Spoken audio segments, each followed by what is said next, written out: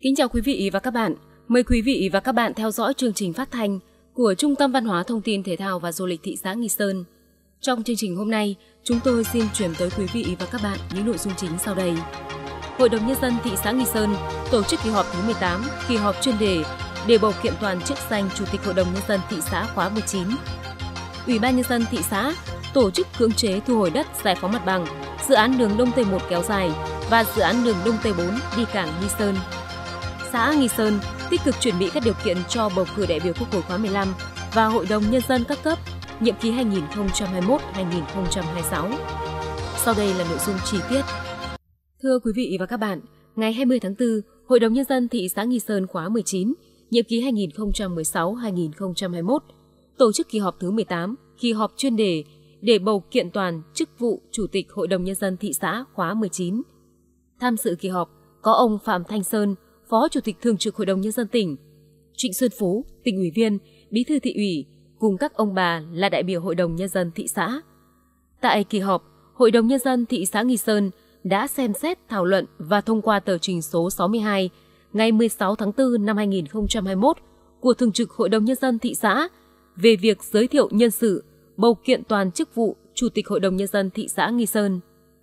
Trên tinh thần dân chủ, trách nhiệm cao, Hội đồng Nhân dân thị xã Nghi Sơn đã thực hiện bầu ông Trương Bá Duyên, Phó Bí thư Thường trực Thị ủy Nghi Sơn, giữ chức vụ Chủ tịch Hội đồng Nhân dân thị xã Nghi Sơn khóa 19, nhiệm kỳ 2016-2021, với 100% số phiếu tán thành, đồng thời thông qua nghị quyết về việc xác nhận kết quả bầu cử chức vụ Chủ tịch Hội đồng Nhân dân thị xã Nghi Sơn. Sau 1 phần 2 ngày làm việc khẩn trương, nghiêm túc và trách nhiệm, kỳ họp thứ 18, kỳ họp chuyên đề Hội đồng Nhân dân thị xã Nghi Sơn khóa 19 đã hoàn thành các nội dung đề ra và thành công tốt đẹp. Thay mặt Hội đồng Nhân dân thị xã, ông Trương Bá Duyên, Phó Bí thư Thường trực Thị ủy, Chủ tịch Hội đồng Nhân dân thị xã Nghi Sơn phát biểu bế mạc kỳ họp. Kính thưa các vị đại biểu Hội đồng dân thị xã, kính thưa các vị đại biểu tham dự kỳ họp. Sau kỳ họp này, nhiệm vụ trước mắt của Thường trực Hội đồng Nhân dân và của Hội đồng Nhân dân thị xã là cần phải tập trung thực hiện một số công việc cụ thể như sau. Một là Thường trực Hội đồng Nhân dân thị xã khẩn trương hoàn thiện hồ sơ thủ tục để trình Thường trực Hội đồng dân tỉnh Thanh Hóa phê chuẩn kết quả bầu cử Chủ tịch Hội đồng dân thị xã Nghi Sơn khóa 19 nhiệm kỳ 2016-2021. Hai là giao thường trực hội đồng dân các ban của hội đồng nhân dân thị xã khẩn trương hoàn thiện các nội dung công việc và các điều kiện để tổ chức kỳ họp thứ 19, kỳ họp tổng kết nhiệm kỳ 2016-2021 của Hội đồng Nhân dân thị xã, giao Ban Kinh tế Xã hội, Ban pháp chế hoàn thành việc thẩm tra các báo cáo, các tờ trình của Ủy ban dân thị xã, của Tòa án Nhân dân, của Viện Kiểm sát Nhân dân thị xã, trình Hội đồng Nhân dân thị xã tại kỳ họp thứ 19. Ba là Hội đồng Nhân dân thị xã, các đại biểu Hội đồng Nhân dân thị xã bám sát sự chỉ đạo của cấp trên và của ban chỉ đạo bầu cử thị xã để chủ động phối hợp với ủy ban bầu cử, với ủy ban mặt trận tổ quốc thị xã thực hiện các công việc còn lại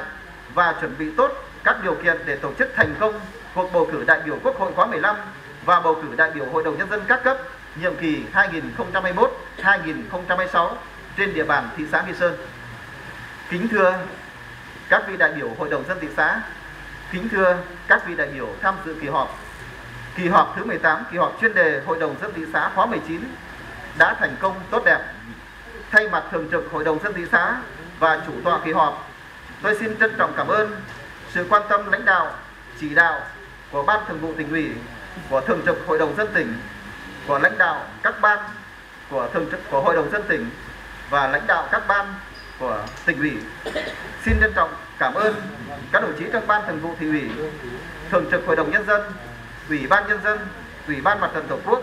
các đồng chí lãnh đạo đại diện cho các ban thị ủy, văn phòng Hội đồng Nhân dân, Ủy ban dân thị xã, cảm ơn sự phối hợp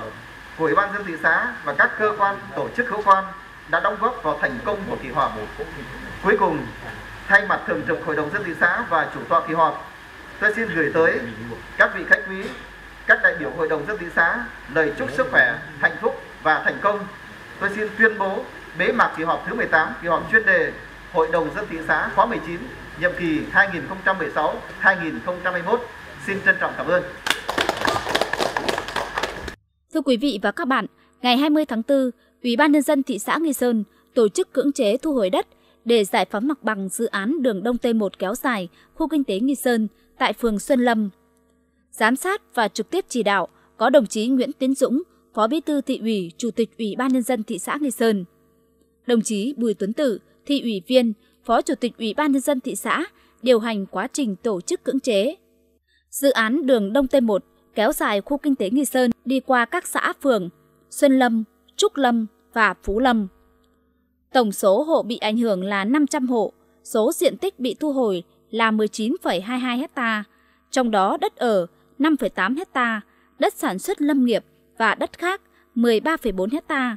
có 15 hộ phải tái định cư. Ủy ban nhân dân thị xã đã phê duyệt và bồi thường với tổng kinh phí 117,3 tỷ đồng cho 1.432 lượt hộ. Tuy nhiên, vẫn còn 9 hộ của phường Xuân Lâm đã nhận tiền đền bù nhưng chưa bàn giao mặt bằng cho nhà thầu thi công tuyến đường, gây ảnh hưởng đến tiến độ công trình và nhu cầu giao thông của các xã phường trong khu kinh tế Nghi Sơn. Đồng chí Bùi Tuấn Tự, Phó Chủ tịch Ủy ban nhân dân thị xã, trưởng ban cưỡng chế cho biết Dự án đường à, Đông Tây 1 à, kéo dài à, qua địa bàn phường Xuân Lâm, phường ờ, Trúc Lâm, xã Phú Lâm ờ, với tổng chiều dài là gần 7 km ờ, đã được tổ chức triển khai trong nhiều năm qua. Tuy nhiên thì thời gian vừa qua thì công tác bồi thường kiểm kê giải phóng mặt bằng của Hội đồng thị xã Nghi Sơn đã triển khai thực hiện rất là tích cực và công tác bàn giao mặt bằng cho các nhà thầu thi công thì đã thực hiện cơ bản là đảm bảo cái tiến độ, đặc biệt là qua địa bàn của xã Phú Lâm, ờ, phường ờ, Trúc Lâm thì ờ, đã bàn giao 100% mặt bằng cho đơn vị thi công. Tuy nhiên thì tại địa bàn của phường Xuân Lâm thì mặc dù hội đồng kiểm kê đã thực hiện đầy đủ các chính sách và đã tổ chức đối thoại rồi tuyên truyền vận động nhiều lần, song vẫn còn 9 hộ trên địa bàn không thực hiện cái việc bàn giao mặt bằng để cho nhà thầu thi công tổ chức thực hiện thi công dự án. À, vì vậy mà Ủy ban dân thị xã Nghi Sơn và ban cưỡng chế ờ, của thị xã Nghi Sơn ờ, phải tổ chức cưỡng chế để thu hồi đất. Và như thế là đến nay thì ờ, công tác cưỡng chế cơ bản đảm bảo an toàn. Và như thế là các hộ, như thế là cũng không ngăn cản, chống đối lực lượng cưỡng chế. Và như vậy là cái thực hiện cái việc bàn giao mặt bằng cho đơn vị thi công đảm bảo được. Ờ, theo cái kết luận của Chủ tịch Ủy ban dân tỉnh Thanh Hóa. Với sự tham gia tích cực của hơn 100 người, cùng với sự hỗ trợ lực lượng công an tỉnh, công an thị xã, sau khi thông qua các quyết định của các cấp có thẩm quyền, ban cưỡng chế đã huy động lực lượng, phương tiện tiến hành tháo gỡ di chuyển một số tài sản nằm trên phần đất giải phóng mặt bằng, cùng với công tác vận động tuyên truyền giải thích nên cơ bản các hộ phối hợp với ban cưỡng chế tự nguyện tháo gỡ, di chuyển đồ đạc ra khỏi diện tích bàn giao mặt bằng và không có biểu hiện chống đối cản trở quá trình cưỡng chế. Với sự vào cuộc quyết liệt của cấp ủy chính quyền, từ Ủy ban Nhân dân thị xã đến xã phường và sự phối hợp giữa các cơ quan ban ngành, lực lượng, nên phương án tổ chức cưỡng chế thi công được đảm bảo cả về an ninh trật tự và thời gian tiến hành. Qua đó, thấy được tinh thần trách nhiệm và tính nghiêm minh của pháp luật trong quản lý nhà nước về đất đai cũng như trong công tác giải phóng mặt bằng dự án đường Đông Tây 1 kéo dài nói riêng và các dự án trong khu kinh tế Nghi Sơn nói chung, đồng thời thấy được tầm quan trọng của dự án đối với sự phát triển kinh tế xã hội của thị xã Nghi Sơn.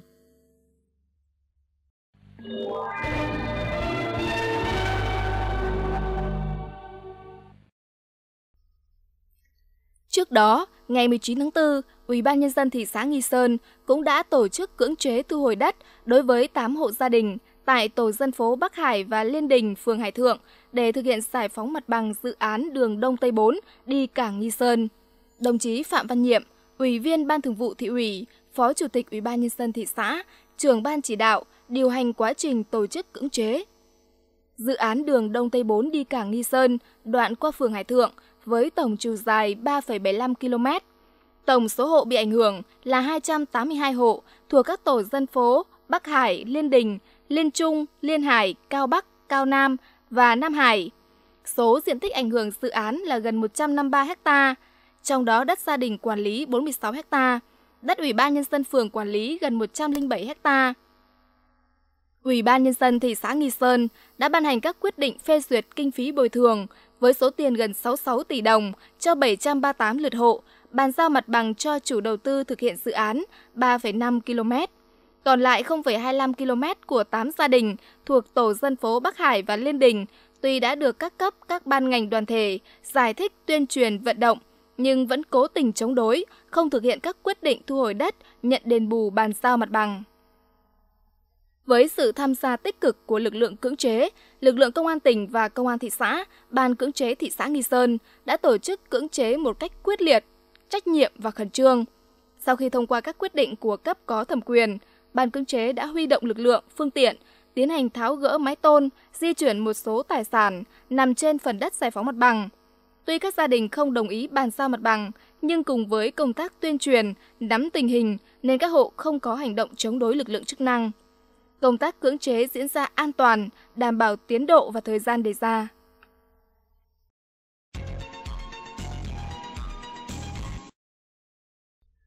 Thưa quý vị và các bạn, ngày 20 tháng 4, Trung tâm Chính trị thị xã tổ chức lễ bế giảng lớp bồi dưỡng đối tượng kết nạp đảng khóa 2 năm 2021. Tới dự có đồng chí Đinh Văn Minh, Ủy viên Ban Thường vụ, trưởng Ban Tổ chức Thị ủy, đồng chí Lê Thị Kim Hằng, Ủy viên Ban Thường vụ, trưởng Ban Tuyên giáo Thị ủy, Giám đốc Trung tâm Chính trị thị xã. Lớp bồi dưỡng đối tượng kết nạp đảng khóa 2 năm 2021 được tổ chức từ ngày 15 tháng 4 đến ngày 20 tháng 4 năm 2021 với sự tham gia của 70 học viên đến từ 14 đảng bộ chi bộ trực thuộc và một chi bộ đóng trên địa bàn thị xã. Các học viên đã được học tập nghiên cứu các chuyên đề khái lược lịch sử Đảng Cộng sản Việt Nam, cường lĩnh đất nước trong thời kỳ quá độ lên chủ nghĩa xã hội, nội dung cơ bản của điều lệ Đảng Cộng sản Việt Nam – học tập và làm theo tư tưởng, đạo đức, phong cách Hồ Chí Minh, phấn đấu trở thành đảng viên Đảng Cộng sản Việt Nam, chuyên đề hội nhập quốc tế và chuyên đề đạo đức cách mạng. Trong quá trình học tập, các học viên có một buổi đi nghiên cứu thực tế, dân hương tại khu di tích lịch sử cách mạng Tân Dân, nơi thành lập tri bộ Cộng sản đầu tiên của huyện Tĩnh Sa, tiền thân của Đảng bộ thị xã Nghi Sơn ngày nay và dân hương tưởng niệm các anh hùng liệt sĩ tại Nghĩa trang liệt sĩ thị xã. Kết thúc khóa học, 100% học viên đạt yêu cầu và được cấp chứng nhận hoàn thành khóa học. Tại buổi lễ bế giảng, Trung tâm Chính trị cũng đã biểu dương, khen thưởng cho 8 học viên đạt thành tích xuất sắc trong học tập và rèn luyện.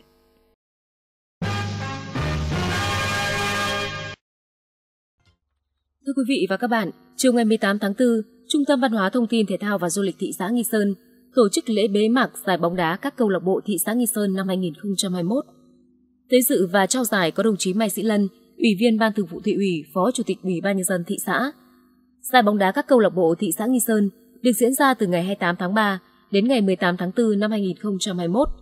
Trải qua hơn 20 ngày thi đấu, 17 đội bóng với 350 vận động viên đã công hiến cho khán giả 35 trận bóng gay cấn, hấp dẫn với nhiều pha bóng đẹp mắt. Kết quả, giải vô địch thuộc về đội bóng FC Sóng Biển Phương Hải Thanh,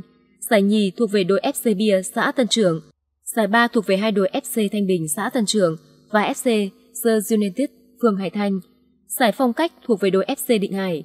Ban tổ chức đã trao cúp, cờ, huy chương và phần thưởng cho đội vô địch, cờ huy chương phần thưởng cho các đội hạng nhì và đồng hạng ba. Ngoài ra, ban tổ chức đã trao các giải cá nhân cho cầu thủ ghi nhiều bàn thắng nhất và thủ môn xuất sắc nhất. Thông qua giải đấu, các vận động viên có cơ hội giao lưu, tăng cường tinh thần đoàn kết, thúc đẩy phong trào thể dục thể thao trên địa bàn thị xã ngày càng phát triển, hướng tới chào mừng các sự kiện, các ngày lễ lớn của quê hương đất nước. Ông Cao Văn Lâm, Giám đốc Trung tâm Văn hóa Thông tin Thể thao và Du lịch thị xã Nghi Sơn, trưởng ban tổ chức giải bóng đá các câu lạc bộ thị xã Nghi Sơn cho biết. Ờ, giải bóng đá các câu lạc bộ của thị xã Nghi Sơn năm 2021 là nằm trong lộ trình các môn thi đấu trong tổng thể 23 môn thi đấu của Đại hội Thể dục Thể thao toàn thị xã lần thứ 9. Đại hội chính thức sẽ được tổ chức vào dịp kỷ niệm ngày thành lập Quân đội nhân Việt Nam 22 tháng 12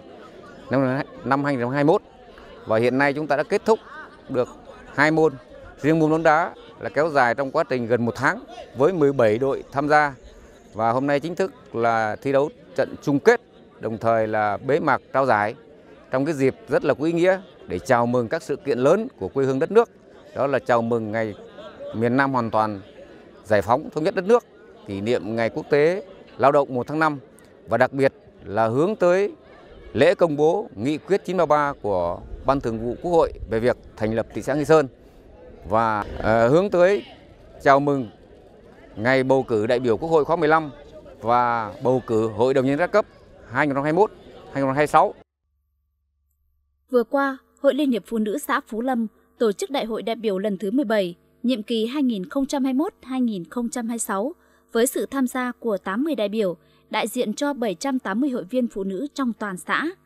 Về dự đại hội, có đại diện Hội Liên hiệp Phụ nữ thị xã, lãnh đạo cấp ủy chính quyền, các ban ngành đoàn thể xã Phú Lâm. Trong 5 năm qua, Hội Liên hiệp Phụ nữ xã Phú Lâm đã chủ động sáng tạo đổi mới phương thức hoạt động, thực hiện hiệu quả các khâu đột phá và các nhiệm vụ trọng tâm. Các nội dung chương trình hoạt động đều được triển khai có hiệu quả. Hiện nay toàn xã có 580 trên 780 gia đình hội viên đạt 8 tiêu chí 503 sạch. Trong thời gian qua, bằng nhiều cách làm thiết thực, Hội Liên hiệp Phụ nữ xã đã triển khai thực hiện có hiệu quả các hoạt động hỗ trợ phụ nữ sáng tạo, khởi nghiệp, phát triển kinh tế, tham gia xây dựng nông thôn mới, bảo vệ môi trường. Trong 5 năm qua, hội đã trao quà cho phụ nữ và trẻ em nghèo trên địa bàn với số tiền trên 85 triệu đồng, hỗ trợ sửa chữa xây mới 4 nhà mái ấm tình thương với số tiền 120 triệu đồng, trao 7 con bê sinh sản cho 7 hội viên phụ nữ có hoàn cảnh khó khăn với số tiền 70 triệu đồng. Hội Liên hiệp Phụ nữ xã đã tín chấp với các ngân hàng giúp đỡ trên 1.000 lượt hội viên vay vốn phát triển kinh tế gia đình với tổng dư nợ trên 17 tỷ đồng. 100% hộ vay vốn đều sử dụng đúng mục đích. Hội Phụ nữ còn tương trợ giúp đỡ nhau phát triển kinh tế, qua đó giúp được 25 chị thoát nghèo, góp phần giảm tỷ lệ hộ nghèo toàn xã xuống còn 2,02%. Phát huy kết quả đạt được, nhiệm kỳ 2021-2026, Hội Phụ nữ xã Phú Lâm đề ra 9 mục tiêu và 3 nhiệm vụ trọng tâm, với mục tiêu thực hiện hỗ trợ phụ nữ phát triển hội nhập và vun đắp giá trị tốt đẹp của gia đình Việt Nam, xây dựng tổ chức hội vững mạnh, hoạt động chuyên nghiệp hiệu quả. Trên tinh thần dân chủ, đoàn kết, Đại hội đại biểu Hội Liên hiệp Phụ nữ xã Phú Lâm đã bầu 9 đồng chí vào Ban chấp hành Hội Liên hiệp Phụ nữ xã khóa 17, nhiệm kỳ 2021-2026 và bầu đoàn đại biểu đi sự đại hội Hội Liên hiệp Phụ nữ thị xã trong thời gian tới.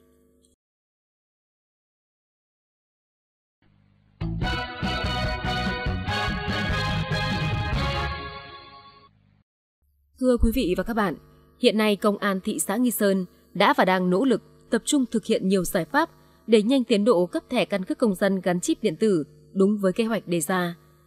Để thực hiện tốt việc cấp mới thẻ căn cước công dân gắn chip điện tử cho hơn 211.190 công dân trên địa bàn toàn thị xã, từ ngày 1 tháng 3 năm 2021, Công an thị xã đã triển khai thực hiện thủ tục cấp căn cước công dân theo từng địa bàn xã phường, cùng với duy trì việc cấp căn cước công dân có gắn chip điện tử cho công dân tại trụ sở công an thị xã. Công an thị xã thành lập hai tổ lưu động xuống tại các xã phường, chia thành 3 đến 4 ca, làm việc 24 trên 24 giờ trong ngày để tiến hành cấp thẻ căn cước công dân có gắn chip điện tử cho từng người dân. Theo đó, mỗi ngày công an thị xã cấp thẻ căn cước có gắn chip điện tử cho 2.500 đến 3.000 công dân. Cho đến thời điểm hiện nay, Công an thị xã đã cấp hơn 70.000 thẻ căn cước công dân gắn chip cho công dân. Để tạo mọi điều kiện cấp căn cước công dân có gắn chip điện tử cho công dân trên địa bàn thị xã, đội quản lý hành chính về trật tự xã hội công an thị xã thực hiện nhiều giải pháp để đẩy nhanh các thủ tục cấp thẻ căn cước công dân gắn chip điện tử như tuyên truyền trên hệ thống truyền thanh của thị xã, các xã phường, thông báo cho công dân đến làm căn cước công dân khẩn trương kịp thời, đồng thời bổ sung các cán bộ chuyên môn nghiệp vụ tốt, có kinh nghiệm trong công tác cấp căn cước công dân và có trình độ công nghệ thông tin để tham gia thực hiện nhiệm vụ, chủ động máy móc, các trang thiết bị để phục vụ việc cấp thẻ căn cước công dân gắn chip điện tử. Bên cạnh đó, Công an thị xã còn chỉ đạo công an các xã phường tổng kiểm tra, giả soát hộ khẩu, nhân khẩu tại địa bàn quản lý, gắn với kiểm tra phúc tra lại thông tin dân cư, kịp thời thu thập, cập nhật, chỉnh sửa thông tin của công dân trên địa bàn được đầy đủ, chính xác, kịp thời, phục vụ công tác cấp căn cước công dân. Với mục tiêu cấp căn cước công dân gắn chip điện tử cho hơn 211.190 công dân trên địa bàn thị xã,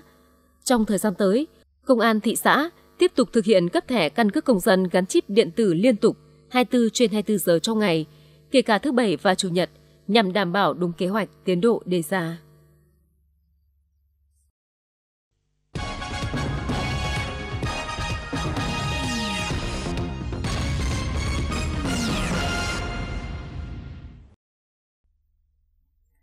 Thưa quý vị và các bạn, huyện Tĩnh Gia, nay là thị xã Nghi Sơn, nằm ở phía đông nam tỉnh Thanh Hóa, phía bắc giáp huyện Quảng Sương, danh giới là sông Ghép, phía tây giáp huyện Như Thanh, Nông Cống, danh giới là sông Thị Long, phía nam giáp huyện Quỳnh Lưu và thị xã Hoàng Mai, Nghệ An, phía đông là biển. Trong suốt chiều dài lịch sử, tên gọi và địa giới của Tĩnh Gia có nhiều thay đổi. Thời thuộc Hán, Tĩnh Gia thuộc phần đất phía đông nam, huyện Cư Phong của quận cửu Trân. Đến thời Tam Quốc, Tĩnh Gia là vùng đất huyện Thường Lạc, thời Tùy Đường là huyện An Thuận. Sau khi nước ta giành được quyền độc lập tự chủ từ thế kỷ 10, trải qua các thời Ngô Đinh Tiền Lê Lý, địa danh của vùng đất này không thay đổi. Đến thời Trần Hồ, thế kỷ 13-14, Tĩnh Gia là huyện Cổ Chiến. Thời thuộc Minh đổi tên là Cổ Bình, lại gọi là huyện Kết Thuế, thuộc châu Kiều Trân, lệ vào phủ Thanh Hóa. Năm Quang Thuận thứ 10, 1469, đời vua Lê Thánh Tông mới đặt tên là huyện Ngọc Sơn do phủ Tĩnh Ninh kiêm lý. Từ đó đến đầu thời Nguyễn vẫn giữ tên huyện Ngọc Sơn. Năm Minh Mệnh thứ 19, năm 1838, cùng với việc đặt đổi tên một số huyện như Thụy Nguyên thành Thiệu Hóa, Lôi Dương thành Thọ Xuân, thì các huyện Ngọc Sơn, Nông Cống, Quảng Sương gộp lại thành Phủ Tĩnh Gia. Sau cách mạng tháng 8 năm 1945, phần đất huyện Ngọc Sơn trở thành huyện Tĩnh Gia. Ngày 22 tháng 4 năm 2020, Ủy ban Thường vụ Quốc hội đã ban hành nghị quyết số 933 NQ UBTVQH14 về việc thành lập thị xã Nghi Sơn và các phường thuộc thị xã Nghi Sơn, tỉnh Thanh Hóa. Thị xã Nghi Sơn được thành lập trên cơ sở nguyên trạng 455,61 km vuông diện tích tự nhiên và quy mô dân số 307.304 người của huyện Tĩnh Gia. Thị xã Nghi Sơn có 31 đơn vị hành chính trực thuộc, 16 phường gồm Hải Châu, Hải Ninh, Hải An, Tân Dân, Hải Lĩnh, Ninh Hải, Hải Hòa, Bình Minh, Hải Thanh, Nguyên Bình, Xuân Lâm, Trúc Lâm, Hải Bình, Tĩnh Hải, Mai Lâm, Hải Thượng và 15 xã ngoại thị. Vùng đất Nam Thanh đang từng ngày đổi mới, thị xã Nghi Sơn, khu kinh tế Nghi Sơn đang bừng sáng một tương lai. Việc thành lập thị xã Nghi Sơn cùng với sự phát triển của khu kinh tế Nghi Sơn, mở ra bước ngoặt lịch sử của vùng đất này trở thành một đô thị động lực, đa ngành, đa lĩnh vực, với trọng tâm là công nghiệp nặng, khai thác cảng biển, dịch vụ, du lịch đồng bộ và hiện đại, hướng tới xây dựng đô thị thông minh, xanh, bền vững, không ngừng nâng cao đời sống vật chất và tinh thần của nhân dân. Theo kế hoạch, lễ công bố thành lập thị xã Nghi Sơn, khai trương du lịch biển hài hòa năm 2021 sẽ tổ chức vào 20 giờ ngày 30 tháng 4 năm 2021 tại quảng trường công viên thị xã Nghi Sơn. Điểm nhấn đặc sắc của sự kiện là chương trình nghệ thuật và màn bắn pháo hoa tầm thấp có thời lượng từ 10 đến 15 phút, qua đó nhằm tuyên truyền sâu rộng đến các cấp, các ngành và toàn thể nhân dân trong và ngoài tỉnh về mục đích, ý nghĩa, tầm quan trọng của việc thành lập thị xã Nghi Sơn và các phường thuộc thị xã Nghi Sơn, giới thiệu đến nhân dân và du khách trong và ngoài tỉnh những đổi thay, chuyển biến mạnh mẽ trong các hoạt động du lịch tại thị xã Nghi Sơn trong những năm qua, đặc biệt là năm 2021, khẳng định Nghi Sơn đang từng bước xây dựng các khu du lịch biển trở thành một trong những trọng điểm du lịch của cả tỉnh. Giới thiệu, quảng bá những tiềm năng, lợi thế của thị xã Nghi Sơn, khu kinh tế Nghi Sơn, nhằm thu hút đầu tư, thu hút du khách đến với Nghi Sơn và Thanh Hóa.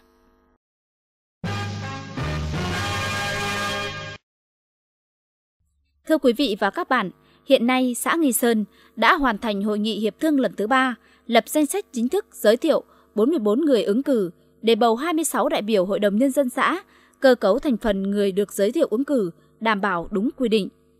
Xã Nghi Sơn đã hoàn thành công tác lập và niêm yết danh sách 4.193 cử tri tại công sở Ủy ban Nhân dân xã và 4 nhà văn hóa thôn với 8 tổ bầu cử và 8 khu vực bỏ phiếu. Công tác tuyên truyền bầu cử đại biểu Quốc hội khóa 15 và đại biểu Hội đồng Nhân dân các cấp nhiệm kỳ 2021-2026 được tăng cường qua nhiều hình thức. Sau hội nghị hiệp thương lần thứ ba, Ban chỉ đạo, Ủy ban bầu cử xã Nghi Sơn tiếp tục chỉ đạo triển khai thực hiện các bước tiếp theo trong công tác chuẩn bị bầu cử, nhất là chú trọng công tác tuyên truyền, vận động nhân dân trên địa bàn tham gia đi bầu cử vào ngày 23 tháng 5 năm 2021 để thực hiện quyền và nghĩa vụ của công dân. Ông Mai Quang Chính, Bí thư Đảng ủy, trưởng ban chỉ đạo bầu cử xã Nghi Sơn cho biết. Đối với Nghi Sơn thì ban chỉ đạo đang tiếp tục chỉ đạo cho các cái thôn đơn vị bầu cử À, tổ chức hội nghị cử tri cho các ứng cử viên đại biểu hội đồng nhân dân à,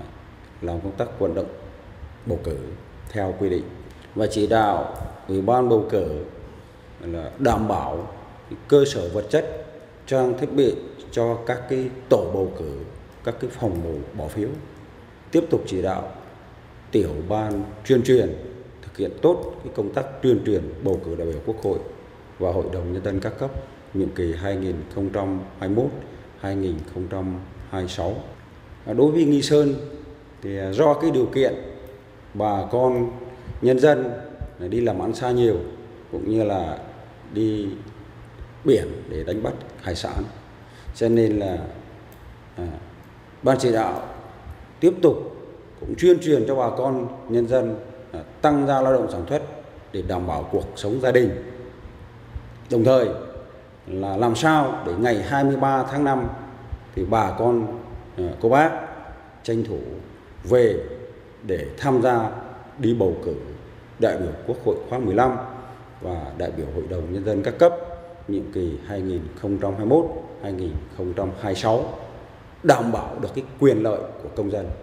Thưa quý vị và các bạn, trong thời gian từ ngày 15 đến ngày 22 tháng 4, trên địa bàn thị xã xảy ra hai vụ tai nạn giao thông làm hai người bị thương. Nhằm giảm thiểu vi phạm tai nạn giao thông, đội cảnh sát giao thông công an thị xã tiếp tục công tác tuyên truyền trên hệ thống phát thanh của thị xã trên ô tô chuyên dụng tại các tuyến đường phức tạp về tai nạn giao thông. Bên cạnh đó, đội cảnh sát giao thông công an thị xã cũng đã xử lý nghiêm các trường hợp vi phạm luật giao thông đường bộ là những nguyên nhân trực tiếp dẫn đến các vụ giao thông nghiêm trọng như vi phạm về nồng độ cồn, chở hàng quá tải, không đội mũ bảo hiểm. Qua đó lập biên bản xử lý vi phạm hành chính đối với 290 trường hợp, tước giấy phép lái xe 4 trường hợp, tạm giữ phương tiện 15 trường hợp, nộp ngân sách nhà nước số tiền 120 triệu đồng. Quý vị và các bạn vừa theo dõi chương trình phát thanh của Trung tâm Văn hóa Thông tin Thể thao và Du lịch thị xã Nghi Sơn. chịu trách nhiệm nội dung và chỉ đạo sản xuất, Cao Văn Lâm, biên tập Trung Hiếu, kỹ thuật truyền dẫn phát sóng Trung Luyến. Cảm ơn sự quan tâm theo dõi của quý vị và các bạn. Xin kính chào và hẹn gặp lại.